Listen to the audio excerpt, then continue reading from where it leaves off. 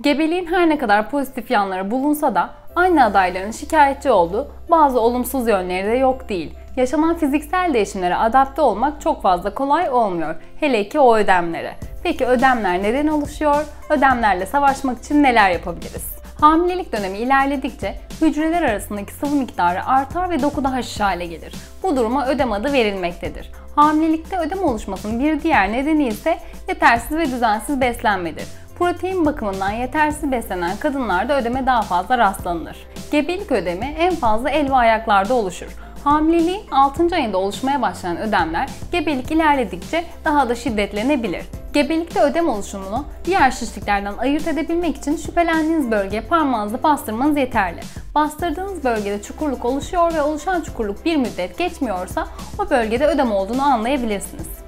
Hamilelikte oluşan ödemler sizin için can sıkıcı bir hal almaya başladıysa dikkat edeceğiniz birkaç küçük nokta ile ödemlerle savaşabilirsiniz. Bunun için birinci kuralımız da kesinlikle fazla ayakta kalmamaktır. Bununla birlikte mümkün olduğunca ayaklarınızı yerden yukarıda tutmak, asitli içeceklerden uzak durmak, bol bol su tüketmek ve rahat ayakkabılar giymek de ödemle savaşmanızda en büyük yardımcılarınız olacak. Aynı zamanda hamileler için üretilmiş özel destek çoraplarından da faydalanabilirsiniz. Daha fazla bilgi için açıklamalar kısmına bıraktığımız linklere tıklayabilir veya gebe.com'a girerek arama çubuğuna ödem yazabilirsiniz.